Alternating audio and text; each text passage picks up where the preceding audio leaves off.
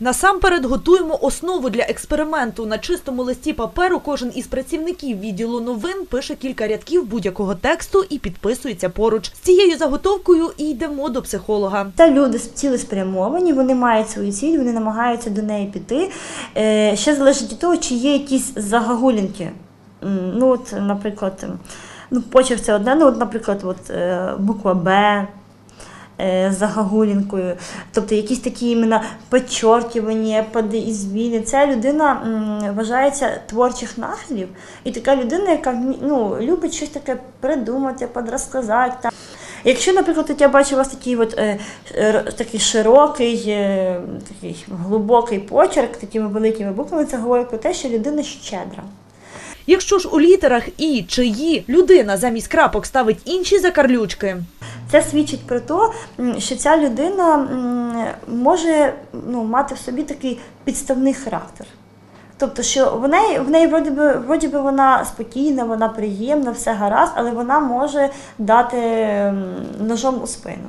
З дитинства нас навчають каліграфії, тому першокласники старанно виводять літери на папері. Втім, коли так пише дорослий, це вже свідчить про інфантильність. Е, Від них не зрозуміло, що очікувати. От як від дітей.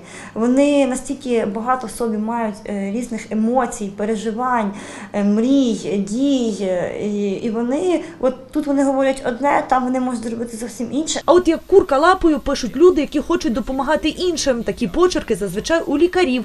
Втім, психологи кажуть, протягом життя почерк змінюється, як змінюється і сама людина. Однак, змінивши почерк, можна змінити і свій характер. Наприклад, щоб виховати у собі вольові якості, треба писати великі рівні літери. Аби загартувати характер, треба сильніше тиснути на ручку. Однак в жодному випадку не можна перевчати шульгу писати правою рукою.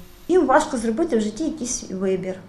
Ем, Їм е, потрібно, щоб його їх постійно підводили до якоїсь мети, щоб були якісь люди, які постійно могли їм допомогти, тому що за них вже колись зробили вибір. І І з цими знаннями повертаємося в редакцію. Кожному даємо послухати, що про їхній почерк розповів психолог, і цікавимося, наскільки влучними виявилися описи. Правду сказала. Тому, що щедрий, ну не знаю, судити іншим. А те, що гроші, то да, трошки, трошки є такого. Якщо вона вгадала майже 90%, є науки менш точні їм довіряють, то в такому випадку, мабуть, можна. В принципі, частково це відображає мій стан і правда. Тож можемо сміливо стверджувати, графологічний експеримент відбувся.